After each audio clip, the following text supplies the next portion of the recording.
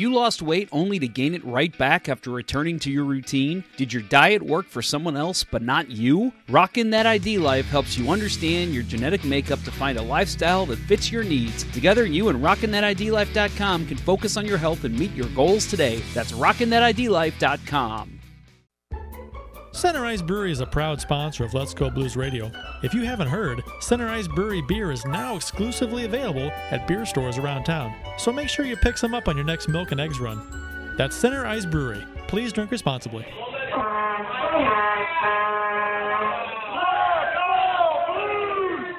This is the summer edition of Let's Go Blues Radio, and I am your host, Jeff Ponder. No Curt Price or Bill Day. That's the way we like it, and that's the way it's going to stay. Make sure uh, you stay tuned in with me all summer as I bring you exclusive hockey content you won't find anywhere else. Of course, I say that, and a good chance next week Curt and Bill will be back for a live show, but we will see. I uh, had said that going into this week uh, that uh, we would have a live show this week, thinking the draft was going to be when it normally is, but I forgot. You got to basically add an extra week, two weeks with the way this season went on. So, yes, hopefully they'll be back next week. If not, uh, definitely the week after that, because that'll be free agency. Uh, support for Let's Go Blues Radio is brought to you in part by RockinThatIDLife.com, where we help you make every workout, every meal count, do life better. And by CenterIceBrewery.com, St. Louis's wonderfully craft hockey, wonderfully crafted hockey themed beer found at local grocery stores and liquor stores in the St. Louis area. Uh, this is franchise episode number 364 all time. This is season 10, episode 46. Uh, so uh, we've got we've got the draft coming up. So we got a big episode here where we kind of preview where the Blues will be picking, who they might be picking, names to watch out for. Some great stuff from our guests. He provides some real excellent insight into uh, maybe names you haven't heard before that maybe you should be paying attention to in this upcoming draft. Also, obviously, talk about the big names, the Shane Wrights, guys like that. Um, so uh, first of all, this is hard to say, but it probably needs to be said. Congratulations to the Colorado Avalanche on your 2022 Stanley Cup. Um, I mean, I'm not a fan of Nathan MacKinnon one bit. I don't like his leadership style. I, I feel it borders on um, uh, just, I don't know, eh, crazy behavior with your teammates. I just don't like, uh, you know, basically telling them what they can and can't eat, not to smile for certain pictures. I'm just not a fan of it. And then obviously, I don't care what anyone says. I don't care that he's now a hero somehow. And I've said this on the show before. Go back to those episodes. You want to hear my real thoughts on Nazem Kadri.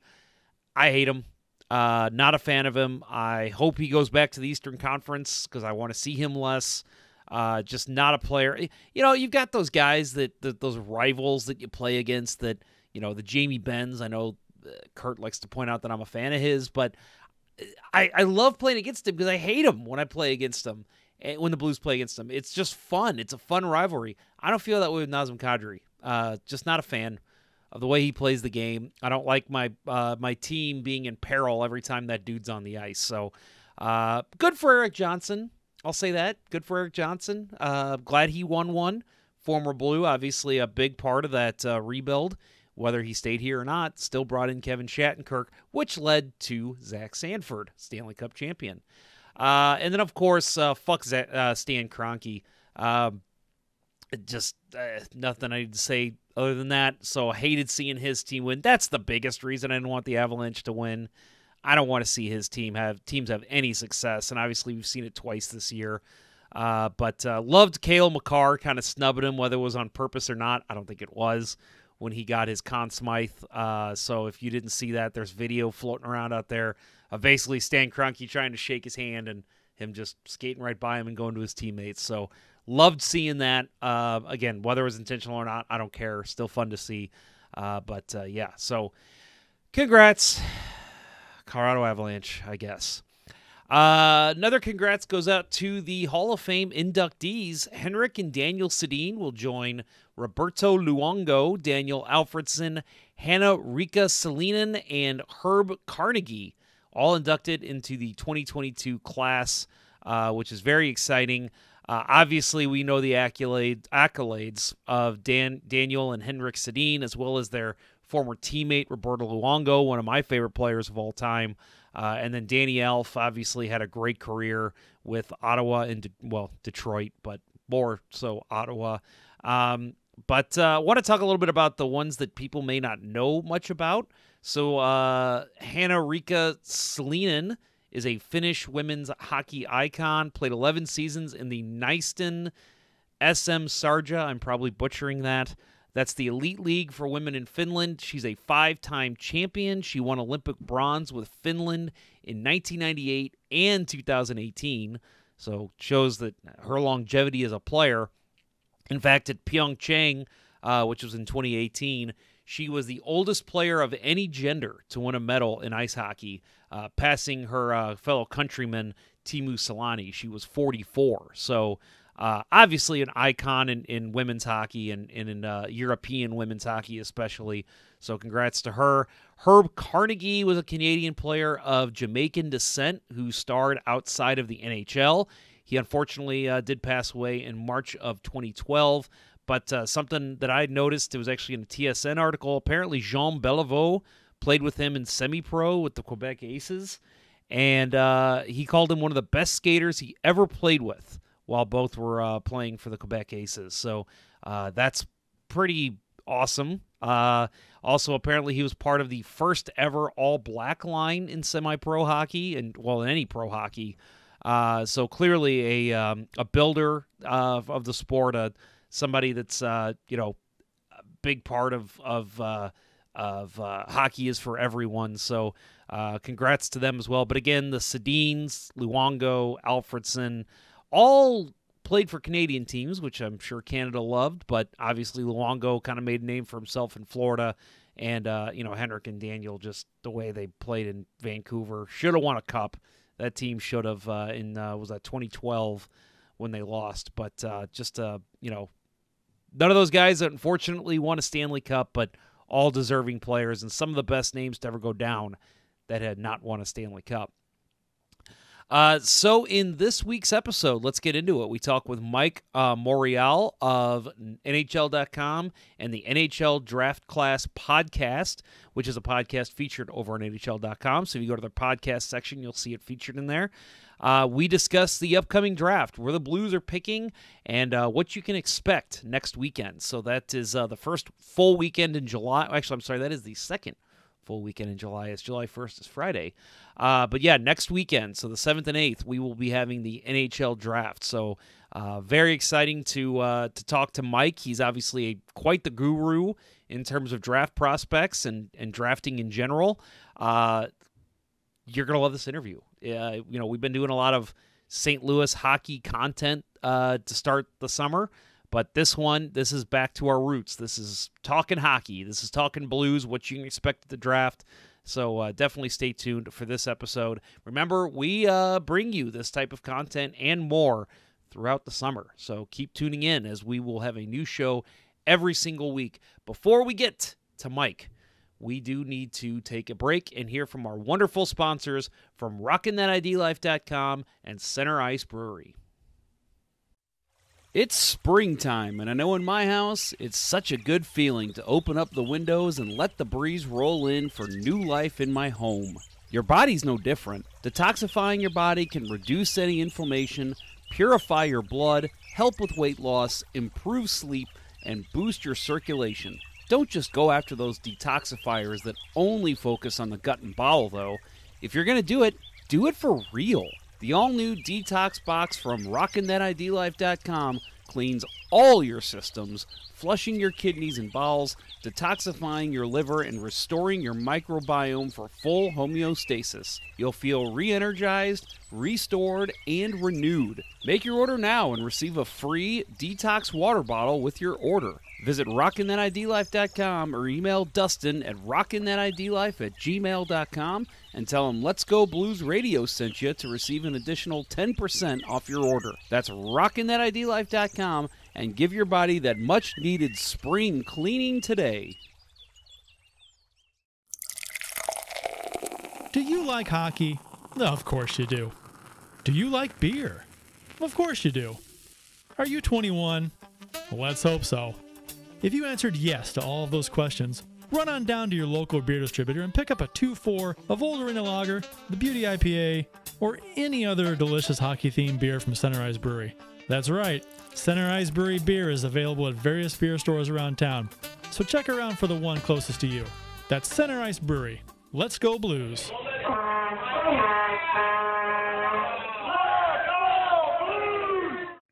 And for our interview portion of the show today, I am joined by Mike Morreale, uh, staff writer over at NHL.com since 2008, co host of the NHL Draft Class podcast found on NHL.com. Uh, he's kind of a, a, a, guru when it comes to your draft analysis at NHL.com. So he clearly knows the stuff if the NHL is going to trust him. Um, but before we get to that, way more important, New Jersey High School Ice Hockey Hall of Fame member. Explain yourself. That's interesting. Oh wow, that's that's that's a that was that's a great opening question there, Jeff. Thank you for that, and I, I appreciate being on the show. Thank you for having me. Uh, well, you know, I covered high school hockey for the local paper here in New Jersey, the Star Ledger, the Newark Star Ledger, uh, for 17 years. I did high school hockey. I did all kinds of high school sports, but hockey was my love at the time. And to make a, a, a very long story short, um, there were about maybe 48 to 55 high schools uh, in the state of New Jersey at the time I started covering high school hockey. And there were several great players that I had the pleasure of covering. Uh, James Van Riemsdyk, uh, you know, he was with Christian Brothers Academy in, in Lincroft. Uh, you know, Delbarton had George Parros.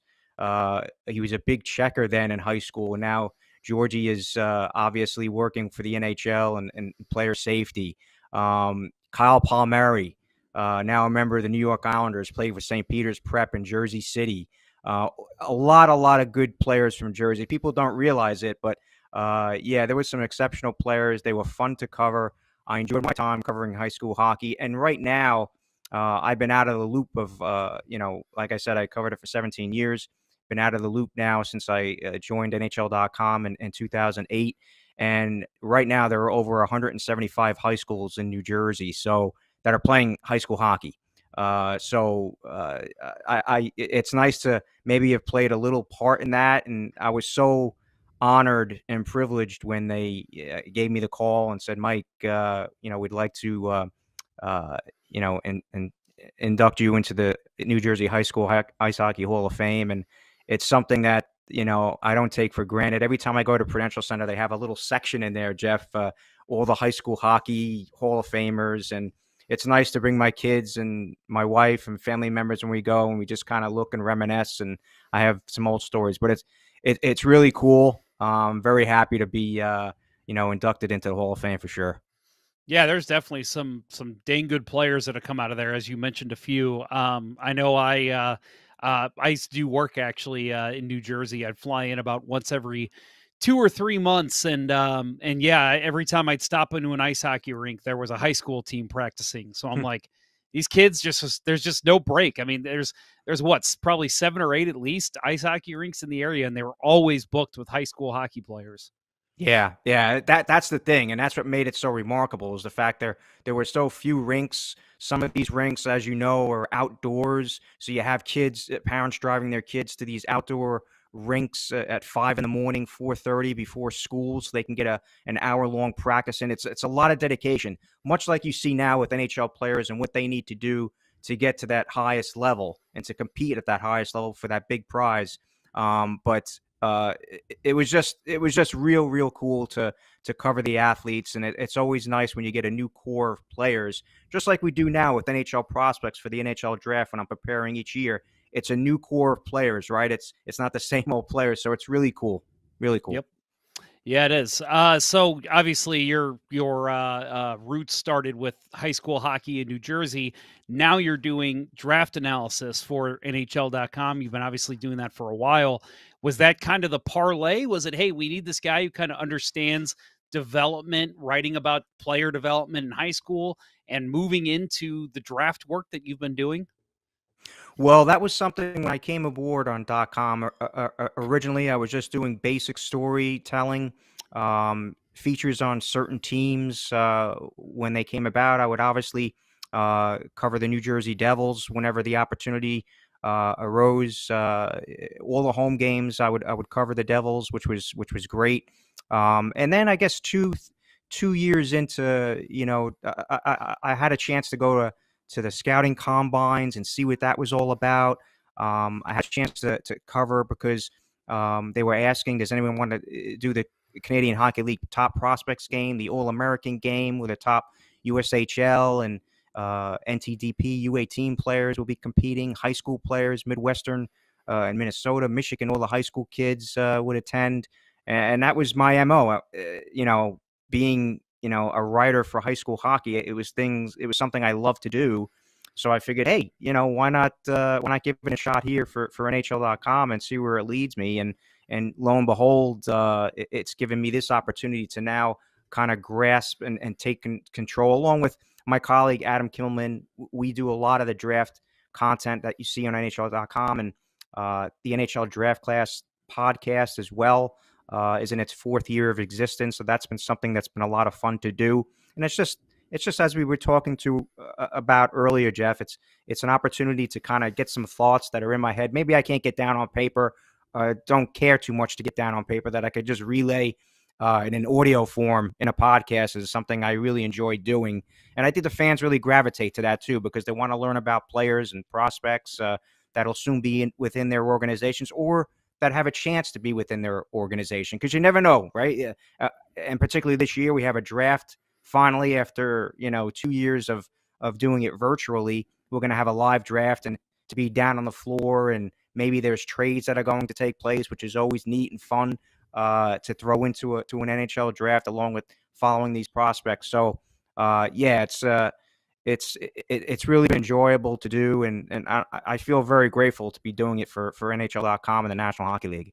Yeah, I mean, I, have covered drafts uh, a couple in my day, and and uh, I've always said those are my favorite events to attend in terms of NHL. Obviously, playoff games are great, the award show is great, everything's great that you can do, but the draft it's just it's so much more intimate to me than anything else because you're yeah. like you said you're right down on the floor i mean i remember my first draft it was my first nhl event experience outside of a regular season game hmm. and i remember just walking up i had my backpack on headphones in trying to go find where i should go sit and there's brendan shanahan and steve Eiserman just standing there talking eating bagels and i'm like whoa what what are you doing here? And I'm like, oh, nice. this is like the area for everybody. This isn't just the media section. So it was it was really cool to just walk by and just see these prolific Hall of Famers now owners and and presidents and GMs just conversing, you know, just just oh wow, they're in their element right now and, and here I am standing right by them. Like it was just yeah. crazy to me. It's there's something to be said too, and that's that's incredible. Uh, I love those stories when you're able to to meet up with a general manager, like to see Lou Lamoriello walking by and say, "Hey, Mike, how's it going?" Uh, you know, down on the draft floor. It's just really, really cool. But also, Jeff, it's it's just the opportunity to looking back. Like I can look back now and say that you know after Connor McDavid was drafted, or Auston Matthews went number one, Jack Hughes, even uh, John Tavares. Uh, I was there for that was one of my one of my first drafts that I attended in Ottawa. It, you know, it really takes you back and and you're really glad to be able to you know follow the path of these players that now you know you look at what McDavid's doing and, and Auston Matthews uh, you know the Hart Trophy winner it's amazing to see to see them and to say that hey you know I knew these players when and and they used to you know I was the guy that they talked to and and a lot of times and even James Van Riemsdyk when I still see him today uh, I covered him in high school covered him you know, when he was drafted by the Flyers, then went to the, the, the Maple Leafs, back with the Flyers. Whenever I go into the locker room, he still refers to me as Mr. Morreale, which which I think is really cool. and every so often, I do tell him, I says, uh, you know, all right, all right, you know, JVR, it's it's all right. You can call me Mike. We're, we're on first, you know, first name basis here uh, now that you're a professional. So, um, but it, it's really it's really kind of neat, and and it just goes to show you how respectful these players are in the league. Yeah, yeah, they are. They they all they always have been. They always will be. I think they they are always yep. raised right. So speaking of uh, the upcoming draft here in 2022, um, actually, first, I want to ask you in terms of how you've had to cover the draft the last two years versus how it's going back to now, the way that I used to cover it. You're back in the arena. You're you're you know you're in Montreal this year. Um, what uh how does that change your coverage in terms of how how does it make it better because clearly i'm sure it does yes yes it does the past the past two years with the draft being uh virtual obviously no media members there. And you know what jeff and you could speak to this as well. It's it it's it's it's okay to to get players general managers on on a zoom call but let's face it everyone's getting the same content. So you can't really dive into a player and, and maybe talk about something that is a little different from what another writer might be getting. Um, and that's something that I always enjoy, maybe digging in a little deeper than just, hey, you know, what was it like being selected number one in the draft? Or maybe dive in a little more to, to what parents are saying, you know, maybe uh, some of his friends that are might be uh, direct messaging him at the time, what they're saying, or who he's direct messaging, or things like that that make it make it interesting, and and uh, you're able to talk face to face. And the thing that I enjoy most, and that we're we're so um, you know that benefits us at dot .com, and a lot of a lot of the outlets do get this. Sportsnet, um, you know, ESPN is going to get this this year as well. Um, you know, when the players come through the different media outlets after being selected, they'll sit down with us uh, each of the players that are selected in the first round, and we'll get to speak with each of them for maybe five to ten minutes. It'll give us an opportunity to maybe get some sound bites for for our podcast, and not only that, uh, be able to get, as I said, some quotes and maybe some different, unique type of things that these players are feeling at the time in stories that we'll have upcoming on .com uh, after the first round of the draft and leading into day two uh, on July 8th. So um, in that way, it's it's very fulfilling. That's what makes the draft so enjoyable uh, for us, and, and, just being there around people, right? Just just being able to talk to your, your colleagues from other outlets. Um, you know, how's it going? You know, what what are you hearing? Is there going to be a trade here? It's just a whole different dynamic of being at the draft and being able to share the experience not only with the people you work with, but but others that you've been around with the entire season and have the same type of uh, interests as you but are able to get different type of storylines um, in a live draft. So, and every so often, if you're lucky, a GM or maybe a, a head amateur scout will come walking by uh, on the on the draft floor, and you can you know catch up with them. How's it going? What's going on? Can you give me any insight? And sometimes you get that insight. Now, as a writer for .com, I'm not able to maybe tweet some of that stuff out or express it in a story as easily as maybe another outlet just because I'm working for the league. Um, but that being said, I still enjoy maybe getting a little bit of the insight in that regard, and it, it always makes it makes it for a more enjoyable draft and experience for sure. So we're going to talk about uh, the Blues in particular, who they might end up with, and I'll mention too where the uh, Blues will be selecting this draft. But first, I want to talk to you about um, Shane Wright uh, out of Kingston, OHL. He's a uh, centerman, and uh, he's been kind of getting the hype as the number one. Um, can what can you tell me about his game, and do you see any of the other names below him possibly stepping in and taking that number one spot, or is he solidified as number one?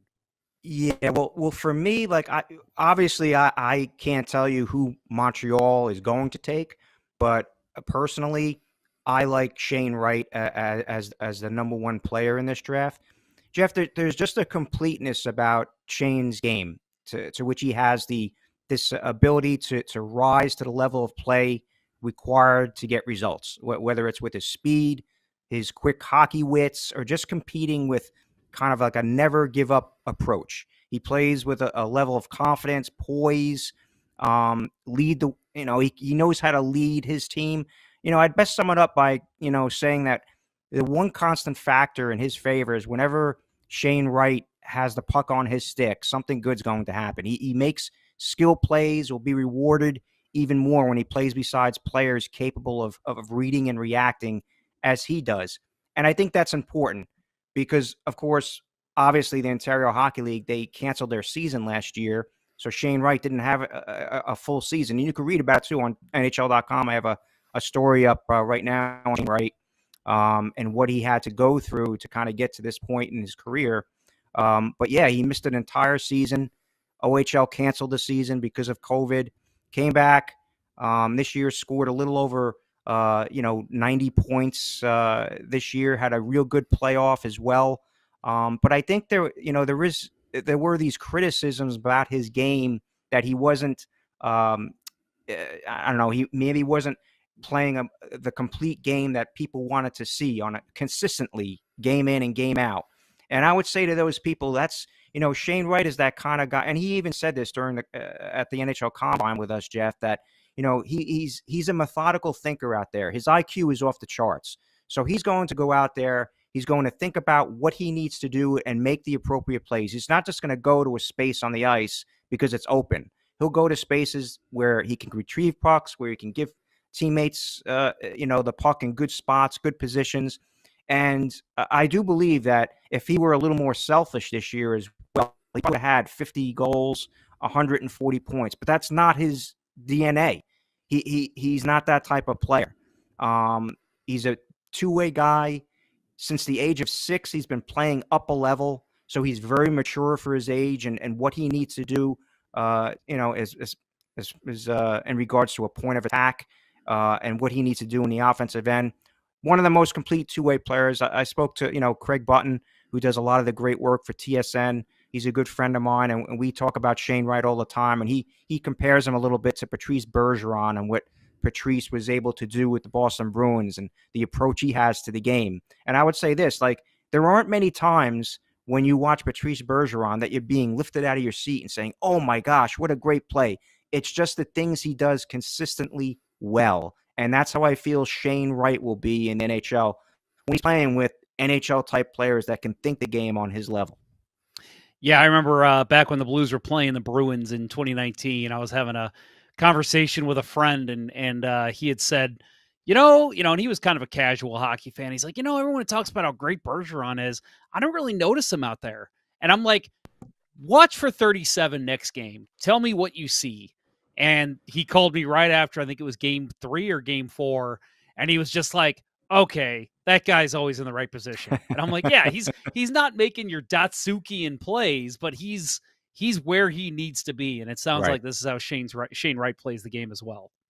Yes. Yeah, no, no doubt about it. You you know, you can you know, you can't you can't really measure mental effort on the ice. It's something that you just have to see as a scout, a guy that's been in the business for a long time.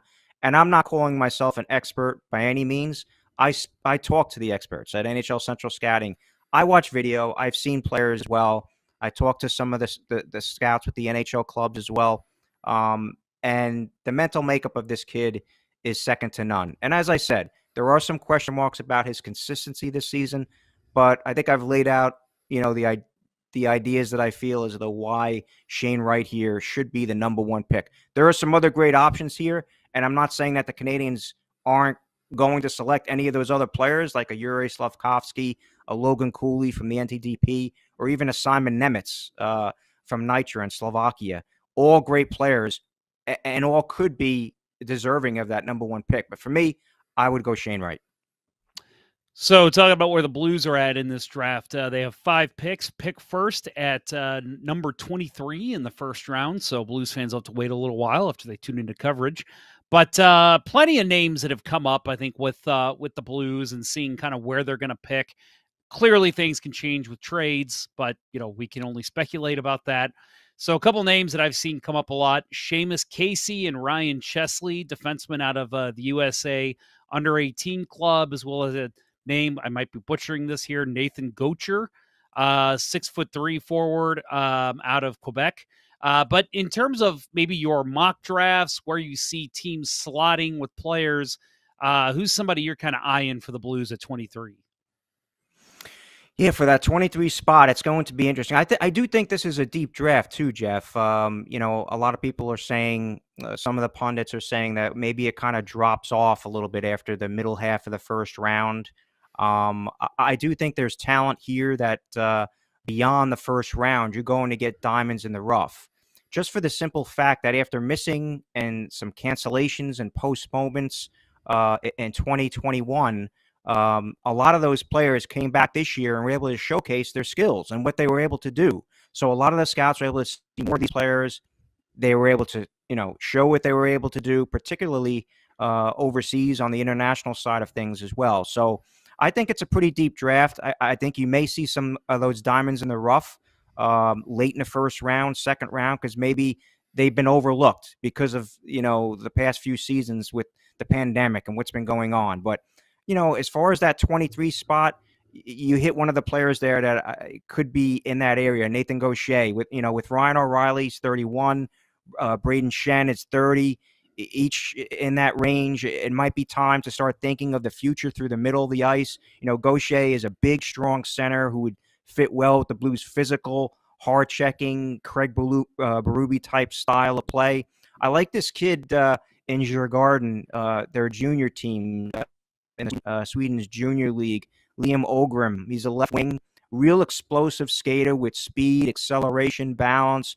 He goes about 6'1, 201. And I think if, if the Blues did, I, I, I, think he may go, could go a little higher in this draft, but he could be a steal for the Blues at, at this point if they're able to get him. He plays with a lot of energy, just what Craig Berube likes, is strong on the forecheck, has a great work ethic, and he scored 58 points in 30 games uh, in Sweden's junior league. Uh, there's a kid from Mississauga, and besides the national team development program, Jeff, I got to tell you, you know, the national team development program is probably the most uh, scouted, evaluated uh, club um, heading into each draft season. The second most club is usually Mississauga in the Ontario Hockey League, and of course they're they're close in Toronto, so that's probably another reason why Mississauga is so well scouted. But Luca Del Bel the center there, he, he goes about six foot, 179 pounds, good skater, strong puck control, quick hands that make him effective in, in, in a lot of tight spaces. A very committed 200 foot uh, 200 foot player. So uh, he's another player that could be in this range. And then I'll throw in one national team development program player who could be in this range as well because the record for NTDP players taken in the first round was in 2019, the Jack Hughes draft, Trevor, Trevor Zegras, uh, Cole Caufield. There were eight players taken in the first round uh, that year. This year, there were nine players ranked in Central Scouting's North American side uh, that could possibly go in the first round. I think there may go, there may be maybe six or seven. I don't know if they're going to break the record, but it's going to be close. Jimmy Snuggerud made tremendous uh, strides. He's a he's a left wing with the NTDP. His skating really improved over the second half of the season. Uh, was second on the on the program with seven power play goals this year, and he had a goal and a, and a, and a game high step shots at the the BioSteel American Prospects game. Ceiling is really high because of all the elements that are there for a long, successful NHL career. And I think all the fans and everyone understands here too, Jeff, that when you're picking you know 20 21 to 23 these are players even if you get after you know pick number five six uh, these are players that need a little bit more developing a little bit a little bit more maturing. Um, that's what makes the nhl draft so unique and difficult to gauge because you're trying to project where these players are going to be in three four five years. And when you're picking at 23 don't expect the player to be uh, you know in your lineup necessarily in, in one two years, but give it some time, and eventually they'll they'll prosper. As long as they have that proper development and mature, you know, that mature game and, and the player development for that particular NHL club is doing their due diligence to make sure their player is learning how they want them to learn. Well, I'll say the names that you've thrown out at the very least are very awesome names. So as a hockey fan, we can all get excited about that. There's some cool names that might be coming into the NHL. Um, yeah, and and I'll say the Blues have been picking uh, again. We mentioned uh, they're at 23, but they're also have third, fourth, fifth, and sixth round picks. Second round pick was traded this past year for uh, Pavel Buchnevich, which I think worked out for them. Um, yes. but uh, I think you would agree. yes, uh, yeah, very good trade for the Blues. But um, in terms of uh, just, and maybe this is just an overall overarching team question for you, but with with maybe your later round picks, maybe even if you have a late first round pick, what are you most drafting for? Are you looking at, okay, where are our holes going to be next season, two years out, three years out? Who's the best available now? Uh, in term, and obviously teams have their own different strategies, but from what you've seen, what's something that would probably fit the mold for the Blues uh, going forward in this draft? Yeah, well, you know, like I said, I mean, there's going to be quite a few players in this draft that uh, are going to go later. That you know, four or five years from now, we'll be saying, "How in the heck did this player, you know, go in the in the middle of the second round or the middle of the third round?" I honestly believe, believe Jeff, that we're going to see um, a real high percentage of those players, and I think this draft is going to be the highest percentage of any draft we've ever seen of players that are playing and playing particularly well, earning a lot of ice time, playing maybe over 500 games that are drafted second round, third round. So to get those late picks in this year's draft was probably a coup in everyone's uh, hat, uh, a feather in everyone's hat uh, if they were able to do so. A couple of players that I think you know could, or, or I should say, that are interesting, um, who could go, you know, late, uh, whether it be third round, second round. This kid Reid Schaefer, a left wing from Seattle in the Western Hockey League. Um, everyone can bolster their pipeline with, with power forwards on the left side. You know, Schaefer goes about 6'3", 213. He really popped this season. Good at protecting the puck, uh, strong along the boards and in front of the net. Uh, scored 32 goals, uh, had 58 points, led all WHL rookies with, with four shorties uh, this year. Um, so Reid Schaefer is a player that you know could be that player. You know, mid second round. Uh, if he falls a little more, could be even better. Um, Lane Hutson. Now, this is a player that's been kind of on everyone's radar because he goes about 5'8", 148 pounds, plays for the national team development program, U18 team. And it's because of that size that everyone's saying, gosh, you know, is this going to be a detriment to Lane? But I'm telling you right now, Jeff, this is one of the, the better skaters of this draft class as far as defense goes. Um, I've had some scouts tell me that this player, if he were maybe two inches taller, uh, at 5'11 even, um, he could be considered among you know that top three, top four picks of this draft class. So elusive skater. He can play the quarterback on the power play. Great speed, tremendous work ethic. He also was the recipient of the EJ McGuire Award of Excellence um, as the draft eligible prospect uh, who best exemplifies uh, commitment to excellence through strength of character, competitiveness, athleticism. So uh, Hutson's going to Boston University in, in 22 23. So he's another player that I think could be you know, gotten here late. Another interesting uh, talking point that's being brought up is where are all these Russian players going to go in this draft? I mean, obviously we have the war going on. You know, Russia's not involved in the World Junior Championship. Um, you know, uh, Deputy Commissioner Bill Daly said that those Russian players on on Colorado won't be able to take the cup to Russia uh, for their summer with Stanley uh, in the summer. So uh, a lot going on here with with Russia and, and the players. Um, and there are a few dynamic Russian players. Uh, Ivan Miroshnichenko, the left wing from Omsk in Russia's second division, right-handed shot, goes about 6'1", 185.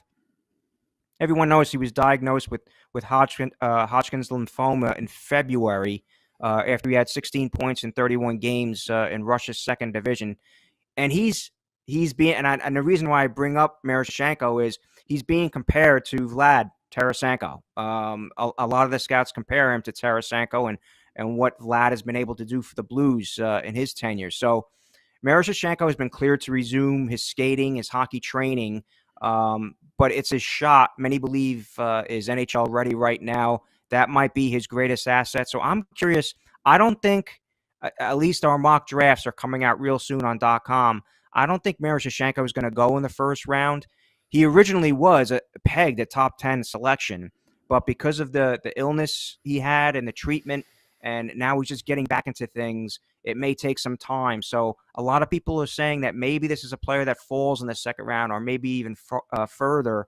And if you're able to get him at that spot, why not give it a shot? And one other player I'll say, a defenseman, Tristan Luneau um, of Gatineau in the Quebec Major Junior Hockey League, goes about 6'1", 188, smart, effective at both ends of the ice, transitions well, good at supporting the rush. Uh, he was named the QMJHL Defensive Rookie of the Year last season, um, but he had 43 points this year, 12 goals, 17 power play assists in 63 games. So a great asset right there for anyone looking for a power play type quarterback. late in the draft. Um, someone that's just consistent, that has been consistently good and strong for his major junior club this season. Yeah, you mentioned the Russians. Uh, Blues have kind of made a push, I think, recently with uh, with Tarasenko obviously leading the charge, but Buchnevich, uh, Barbashev, uh, even a guy like Klim Kostin yes. has been brought in in the past. I, I think that uh, that's definitely a name Blues fans should be looking out for because uh, you never know. Blues have shown before they have no problem taking Russians. No, uh, no, and, and obviously and it would be a great pick. Yeah, the treatment for Hodgkin's lymphoma has greatly improved over the years. So that's another big important thing to remember too. Absolutely. Um, so I have to ask for the resident goalie on the panel who could not join us. His name's Bill Day. Uh, Bill's uh, he's he's gonna ask this question. I know. Why didn't you ask this question, Jeff? I'm gonna ask you, Mike.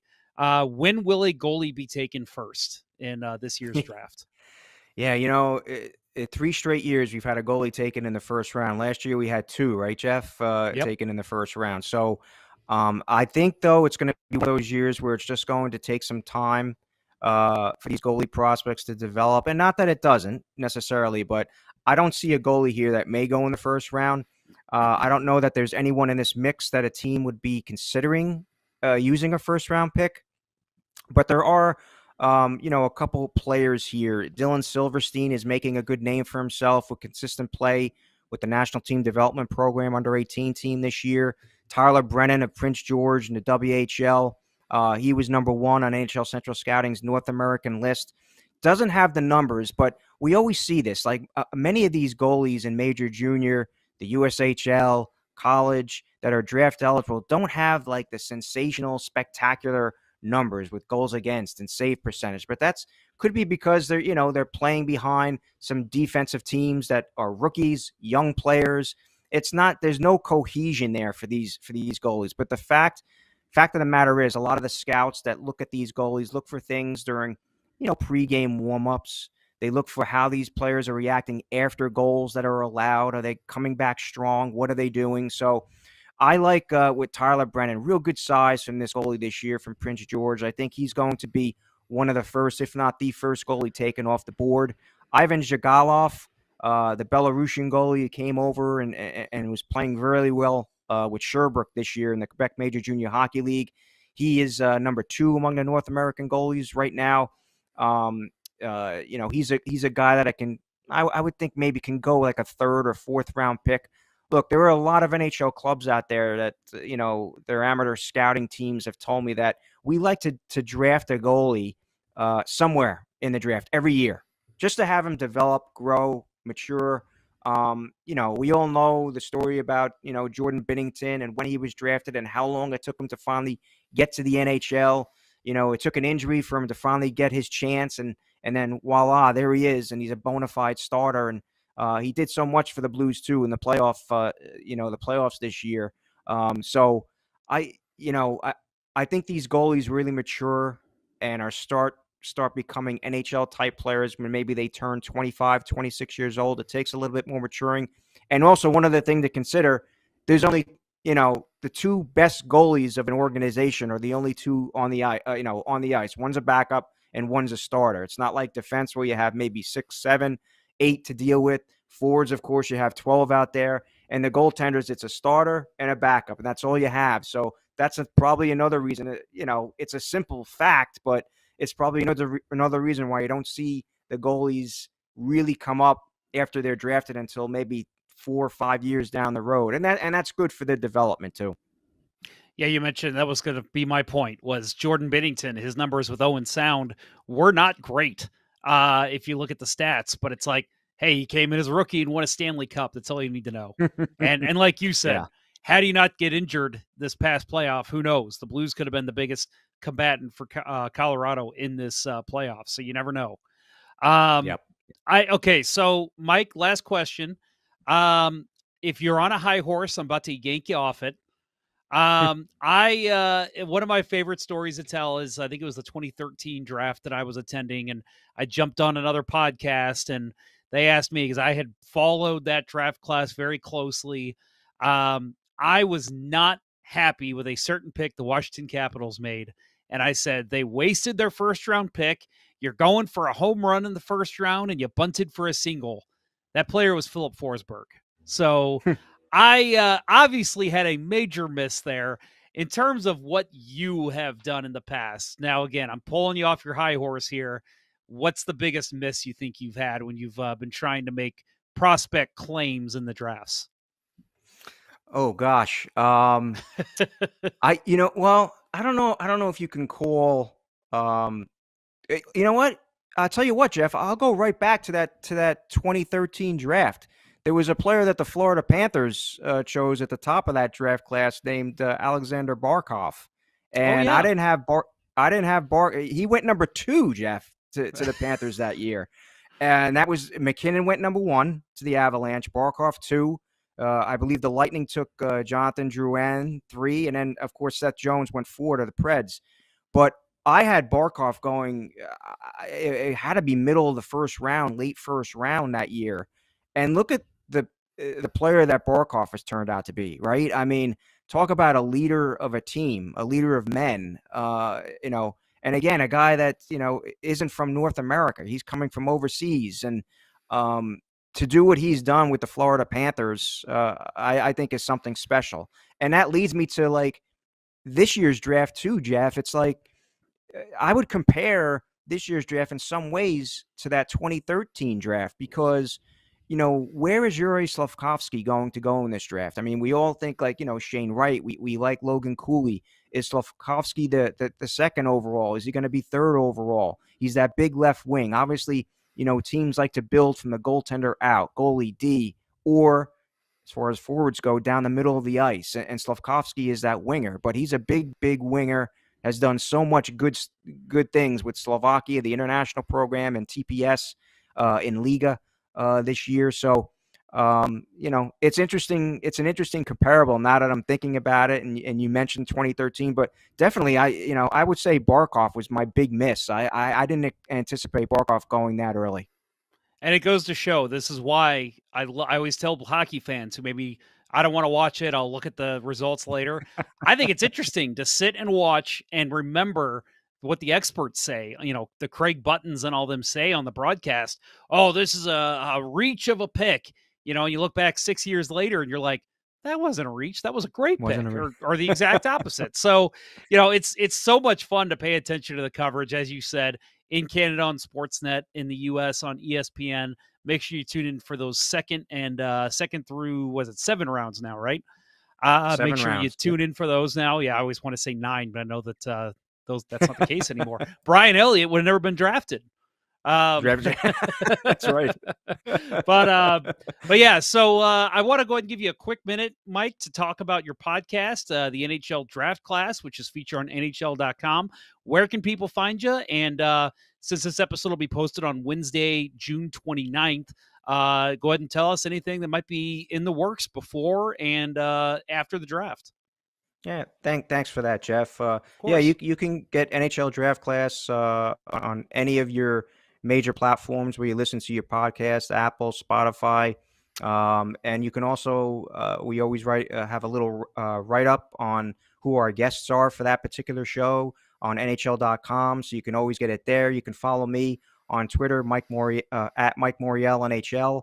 Um, and I'll have uh, you know links to all the podcasts. We have links to some sound bites to the podcast where you can also click on the full podcast and, and what it's all about. And you know, this past month, past uh, month and a half, we'd had we've had guests uh, from NHL Central Scouting. We've we've spoken uh, to Joey Tanute, who evaluates prospects in the Ontario Hockey League. John Williams, the evaluator in the Western Hockey League. JF Damphousse, the Quebec Major Junior Hockey League. Um, we've had all th- the the men that cover these prospects day in day out all the travel work that they do they know these guys inside out and, and what they're like on and off the ice. And it's real interesting when uh, my my colleague my co-host uh, Adam Kimelman and i when we're talking to these scouts how they evaluate these guys what they think of them where they think the projection will be how the how those those skills and assets that they have are transferable uh, to to to the nhl so the you know it's a lot of fun to do the podcast and, and, and upcoming we we've had uh, episodes uh, at this NHL Central uh, Scouting Combine. We've had uh, talks with Shane Wright. We had we spoke with Logan Cooley, Yuri Slafkovsky. Um, and and even uh, we spoke to Jack Hughes too, the uh, son of Montreal Canadiens GM Kent Hughes. Uh, so Jack Hughes, of course, has a similar name to, to to the Jack over at the Devils. And you know, I still remember asking Kent Hughes if, hey, you got the number one pick in the draft. Are you drafting your son? And he's like, I can guarantee you, Mike, we're not drafting our son uh, with the first overall pick. but hey, you know what, Jeff? Montreal has a lot of picks in this draft, so there is a yep. chance that they do get they do get Jack Hughes. But um, yeah, NHL draft class, you can look uh, look it up. Uh, um, and it's a lot of fun to do to do the uh, to, to do the shows each week. Uh, and also your coverage over at NHL.com in terms of writing your columns. Uh, everybody can find everything there and follow you on Twitter, right? And uh, usually post anything new that comes up. Yes, yeah. Uh, I'm at at Mike Morreale NHL. Uh, had some big stories on Yuri Slafkovsky two weeks ago. Last week we had Logan Cooley. I did a long read feature. Um, today, uh, June 28th, we're recording this. Uh, I, had a story on Shane Wright today, a long read feature, which tells all about you know him growing up and uh, some of the neat anecdotes. And um, I thought one interesting note, side note there on on Shane Wright was his dad, uh, Simon, told me that when he was real young maybe seven, eight years old, uh, when they would go to the pool, um, Shane would jump into the pool and his dad would have to throw a ball and he'd try to catch the ball in midair before splashing into the pool. And he was so competitive, Shane was, he'd come out of come out of the pool and he'd ask his dad, "So, what was the rating on that? Like, what would you think of that catch after I got into the water?" And and his dad would use numbers of NHL players. So he'd say, "Oh, that was a 9.1 out of 10." Like 9.1 being a Steven Stamkos, 91. He'd say sometimes I'd give him a Gretzky, a 9.9. Other times it would be a McDavid, a 9.7. So just interesting stuff like that. I, I thought it was really cool. A lot of that in that story. So you can check that out on NHL.com as well as many other features. That's fantastic. Awesome. Uh, Mike, so I want to go ahead and give a shout out to our mutual friend and friend of Let's Go Blues Radio, Dan Rice, who covers the New Jersey Devils. He's the one who put us in touch. So I uh, want to give a little shout out to Dan there in case you're listening. I know you are. And uh, Mike, want to thank you again very much for coming on. This has been a lot of fun. And uh, again, make sure you follow him over on Twitter at Mike Morreale NHL and check out the NHL Draft Class podcast, which again is featured over at NHL.com. Read everything he has to write over there as well. So, Mike, thank you very much for joining us. Look forward to having you on again sometime. Really appreciate this, Jeff. Thank you so much. So again, a big thanks goes out to Mike. Uh, he was awesome, and um, I will be uh, tracking a lot of those players that he mentioned, uh, seeing where they end up because uh, some of those names that I hadn't heard were very intriguing, um, especially the the talk of the Russian players. So uh, should be interesting to see where they end up. Uh, remember, next week, Curt and Bill might be back as we talk about the upcoming draft. Um, might be the next week, though, so we will have a live show coming up, folks, in the next two weeks, at least one, maybe two.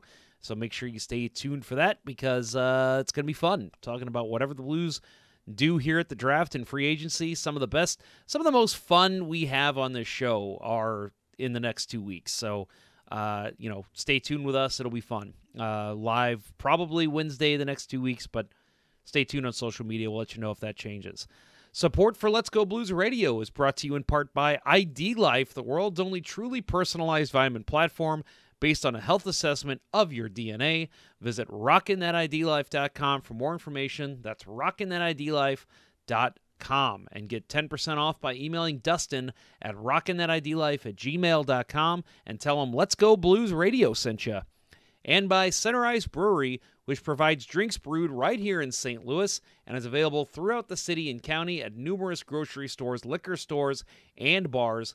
And of course, during the season, they are also at Enterprise, or Enterprise Center, where the Blues play. Uh, visit centericebrewery.com to find a vendor near you. That's centericebrewery.com.